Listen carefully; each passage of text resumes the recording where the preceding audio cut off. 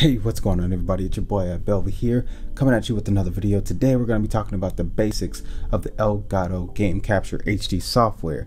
So, if you do have a MacBook, if you are having issues running into Stream running Streamlabs, OBS, anything like that, this video is going to help you guys, you know, show you what I use personally when I do my streaming, which is the Game Capture HD software. I hope you guys do enjoy this video. If you do, please give it a like. Actually, just hit the like button right now because you're already here. All right, you made it to this video. So go ahead and smash the like button for the YouTube algorithm. Last thing I want to bring up is I did have somewhat of an um, an audio issue when editing this video as I had a lot of background noise. I noticed that my fan on my computer was blowing a lot louder than usually does, uh, so I had to fix that in some way with software with uh, Final Cut Pro X, and uh, you know I did the best I could. You guys will notice it when it happens. It happens. Hey, I hope you guys still enjoy this video. Let's get it going.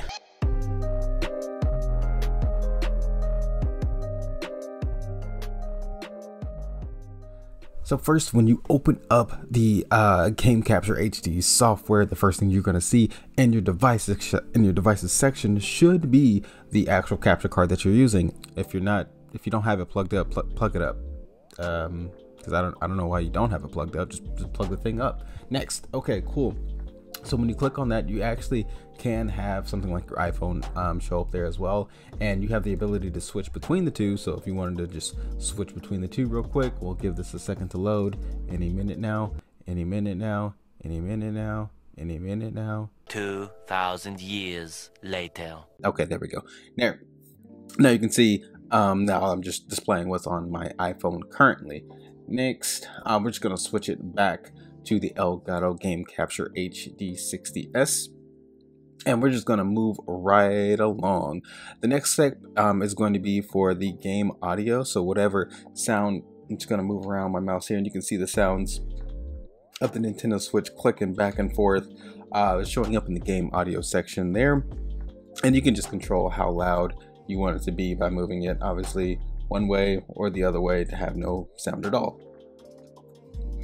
All right, awesome. Next is going to be the live streaming section. This is going to be very important for you guys um, when it comes to your live streaming. So first off, we're going to talk about the bit rate.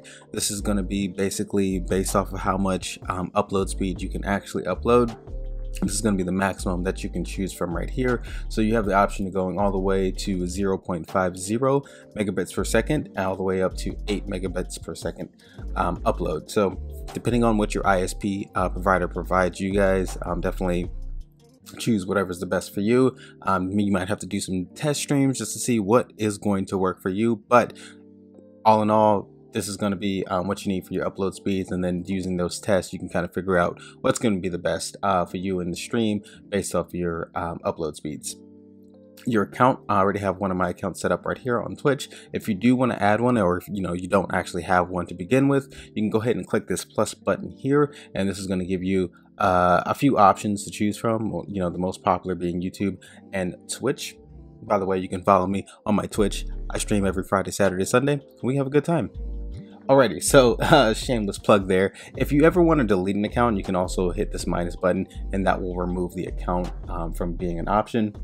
And then selecting here, you can see the other options. If you have multiple accounts, you can actually click on this little icon right here or just anywhere and it should open up multiple accounts that you can easily switch to. The status is going to be basically the name that you want to have your stream. So whatever you want the title of your stream to be, you just go ahead and type that in and then hit upload. This little upload arrow pointing upwards there, and then you can just um, upload and change that um, that title. Alrighty then. Next is going to be the live commentary section. This is going to be basically, um, you know, for your, your mic input. I do have an external mic here for the Blue Snowball. Um, but if you are just using the internal mic on your uh, device, you can choose that. If you're wanting to use a webcam microphone, you have that option as well. Uh, these two down here are something completely different uh, that has nothing to do with microphone, but um, you have those options there to choose from. Um, next, in the uh, commentary section here, this is going to be how uh, loud you want to sound to your audience. Keep in mind that if you do have a booming voice, you kind of want to dial back um, some of that, some of that some of that from your voice, I guess. Like, you know, I don't know. You know, you might be loud. You might be a loud person. Somebody's like, hey, you sound too loud. You can go ahead and just crank that back a little bit. Or if you're the exact opposite and you're kind of like me, I kind of have a low voice. What I can do is I can just boost it all the way up and I can just crank that up all the way to the maximum. And we can just get the maximum output out of that one. Um, but basically, you want to find the right balance between you and the game audio, so you don't, so the game audio isn't overpowering you, and vice versa. You want to have a good balance with the um, in your any kind of recording or streams. But you also have the ability to choose the uh, as like a check mark little box option here for automatically reducing the game sound. What this is going to do is as you're actually talking, the live commentary section is going to pick that up and slowly just reduce the game audio that way you can be heard a little bit more um, versus from whatever your game audio sounds like. So you can definitely choose that. I personally don't have that on. Um, I prefer just to have everything uh, going like that, uh, going as one, and I can just, you know, if I need to control my game audio vol volume by just turning it down, I'll do that. Alrighty, next is going to be the tag section down here. This section for game is where you're going to um, type in the title of the actual game that you're playing. Once again, you just hit that upload button down here and it should upload to your Twitch, to your YouTube, to whatever streaming platform that you use. Uh, video title, uh, this should be the same as um, the status up here. I'm not sure why that's there, but you can also title the video. Um, I believe this might be mainly used for um, actually recording video and not streaming. So that is for that and then we're gonna go over down here to the record section so the record section is pretty simple um, pretty much all you're gonna do you have your record option to start stop recording you're just gonna hit that right there and we can get some some things recorded some little movements there and we'll just hit stop recording on that next we have the snapshot feature basically all this is going to do is just take a picture of this and it's going to throw it directly on your desktop. So if you take way too many of these, you might have a, a whole bunch of pictures on your desktop that you might have to delete, uh, to delete later on. So be careful. Don't don't don't spam this button. All right, it's not it's not good. Just don't don't do it. Um, the mute option here is basically to mute the volume that's coming from your computer. So if you have like external speakers or if it's coming from your like um, your monitor speakers, you might want to um, uncheck this because if you are using an external mic, I mean, you might want to mute this. Sorry, you want to mute that. That way, um, if it is coming from you know your speakers or your mic or your um, monitor, then your external microphone might pick up that sound. You might have like a double audio effect on your streams or on your um, in your recording. So I leave that on mute. I do not unmute that just to avoid that issue from happening. Next, you have the option to actually disable the preview. Um, from my understanding, this actually improves your um, your CPU usage that would also improve your stream as well since your CPU isn't using the live preview um, section to actually show you what's you know what's going on with the stream. I personally don't turn that off as I like to have it on so I can see if anybody um, subscribes or anything like that. I'll get the subscription animation uh, showing up there the stream option is going to be well, to start streaming. So basically you want to click this button here. When you are ready to start streaming, you'll see this turn into like a, a like an orangish color for a little bit. And then it'll go to a bright green. And up here in the live streaming section, it will say live. That's how you will know that you are streaming. And for the commentary, this is as simple as um, clicking it on or off to be able to mute yourself or unmute yourself.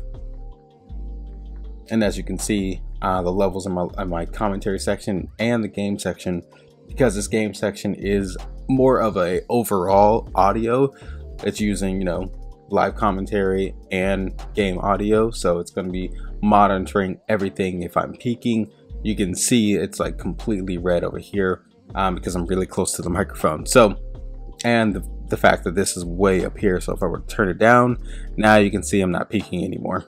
Alrighty, next, uh, we're actually just gonna quickly go over the stream command section down here. So the stream command section uh, is basically used for setting up your stream.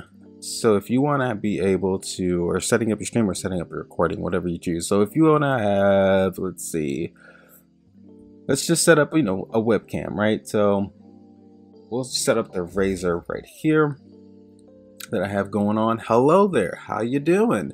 And once you get that set up and going, it's going to show big like this. Um, what you want to do is you want to grab the corner up here and just drag that down.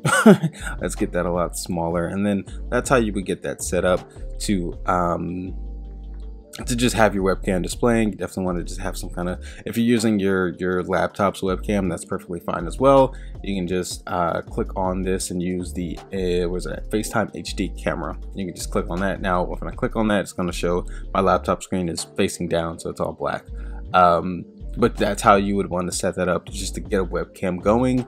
And as far as an overlay is concerned I personally wouldn't I personally wouldn't do an overlay using one of these I plan on making another video showing you guys how to use things like stream ele stream elements to make uh, make just an overall better overlay for your stream um, and also just figuring out the best um, options that you do have with things like overlay expert. So be on the lookout for the video. I suggest you subscribe to the channel. Hit that subscribe button. Hit the bell for notifications because I'm going to be coming up with more content to help you guys with your streams Alrighty, so with the get scenes option up here, uh, listen, like I said, alright, these aren't the best. Don't judge them. They give you something, you know, this is straight from, this is straight from Elgato, so, uh, uh, what we're gonna do, we're gonna select one of these, um, what's a popular one? I think, I saw an Overwatch one, Alright, so we're to click on that and you saw on there that did say include webcam that was check marked. And what this is doing, I mean, there you go. You have your little Overwatch overlay. This is going, this is using a webcam. I'm guessing that um, that's an application for my Logitech. Uh, so we'll just switch that to the Razer and that should do that there. Um, now keep in mind that you did see that I was able to do that easily by clicking this button here. If I select Logi, it's going to automatically know that's where the webcam is supposed to go. So it kind of helps you out a little bit and this automatically shoots over to editing. Um, when you are finished editing, you can hit in editing and that should end it there. But if you ever want to, you know, edit your scenes, you can edit it. You can make things smaller, you can make things bigger, you can move things around, but you can only do that when you are in editing mode. Um, but switching your webcam and things like that actually just automatically shoots it into um, editing mode. So now you can't add any text if you are using a MacBook. If you are using any kind of Mac, I'm not sure um, what's taking Elgato so long to add text, um, but you can on a Windows PC. I know um, uh, and on a Windows PC, some of these options definitely look different. Like you do have uh, the ability to use desktop audio, which you don't have on the MacBook. Uh, I do use a MacBook for pretty much everything on my streams. Um, so this, if you do have a MacBook, this video is definitely dedicated to you. If you do have a Windows PC, I would suggest watching another video because your options might be a little different. Alrighty, that's going to be it for today's video. I hope you guys enjoyed it. If you did, please give this video a like, subscribe, hit the bell to be notified when I drop another video. And we'll be back for some more. You guys stay wild out there. Later.